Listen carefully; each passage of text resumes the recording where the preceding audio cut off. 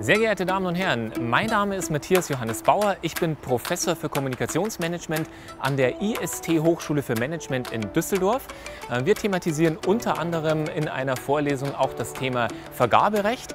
Und äh, damit treffe ich mich, oder zu diesem Thema treffe ich mich heute bei PKF, der Wirtschaftsprüfungs- und Steuerberatungskanzlei hier in Duisburg, auf der Terrasse mit Blick in den Innenhafen mit Rechtsanwältin Susanne Blask.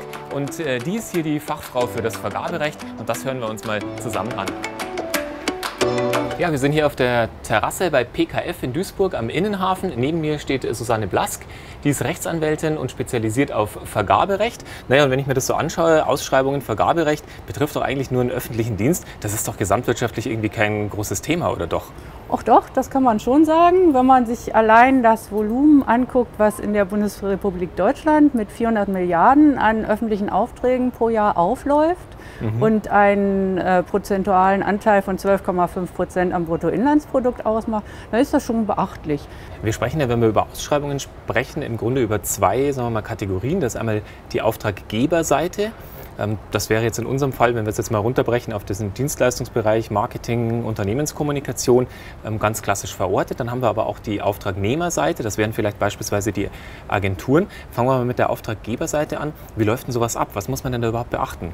Also ähm, die Vergaberegelungen, die äh, umfassen ja die Beschaffung von, ich sage jetzt mal die ganze Palette, auch wenn wir uns hier auf die Marketingleistung konzentrieren wollen, von Bauleistungen, äh, Lieferleistungen, also Warenbeschaffung und Dienstleistungen. Und äh, dieses Regelungspaket, was sich in unterschiedliche Gesetzeswerke und Verordnungswerke gliedert und von der EU runterkommt in nationales Recht, mhm. das müssen die sogenannten öffentlichen Auftraggeber zwingend beachten. Das heißt, man hat den Bund, die Länder, die Kommunen als klassische öffentliche Auftraggeber, die sich mit diesen Vorschriften auseinandersetzen wollen, wenn sie halt Dienstleistungen beschaffen wollen. Die können nicht einfach hingehen in der Regel und sagen, ach, der ist aber nett und der gefällt mir gut, den nehme ich mhm. jetzt mal, sondern sie müssen das äh, sehr formal abarbeiten und äh, damit den Gedanken der EU äh, nach Möglichkeit umsetzen. Mhm.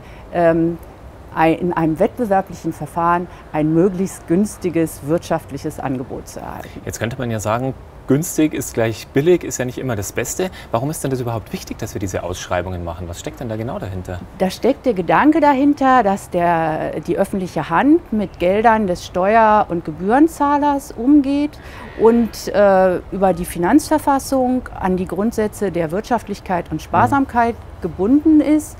Und man hofft, dass eben in einem wettbewerblichen Verfahren, wo Konkurrenten da sind, die Aufträge anbieten und unterschiedliche Kalkulationsansätze mhm. dabei haben, dass man da ähm, diese Grundsätze am besten verwirklichen kann und ähm, dass man äh, nicht das billigste Angebot nehmen muss. Das ergibt sich auch schon aus den Regelungen, die nämlich davon sprechen, dass der niedrigste Preis nicht allein ausschlaggebend mhm. sein muss. Es gibt äh, Bereiche wie Warenlieferungen, da kann das der Fall sein, mhm. oder Buchpreisbindung oder ähnliches.